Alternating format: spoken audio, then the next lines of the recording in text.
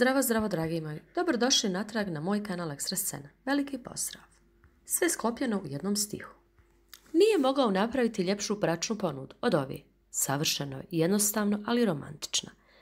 Sa srčanim riječima traži da mu postane supruga. Zaista, bez Jusufa i formalnosti. Teza je tako uzbuđena, ne vjeruje svojim očima.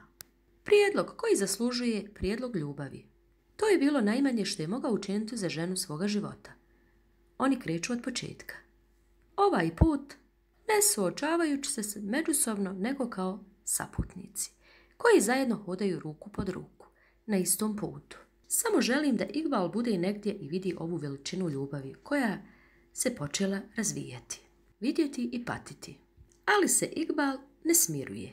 Govori, zaslužuje istu sudbinu kao i njena sestra i još gori. I nakon što su joj svi napori propali, ona će preuzeti akciju unutar vili. I još se ne zna hoće li je gurnuti niz stepenice ili će je napraviti uvjete da padne teze, ali opet neće postići svoj cilj. Čak će imati suprotne rezultate. Naravno, Jaman i Seher kao par će doći toliko blizu da hoće potpuniti brak.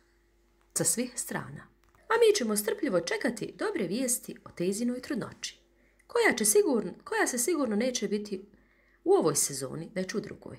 A ovu sezonu kako najavljuju da se može završiti Igbalovim otkrićem.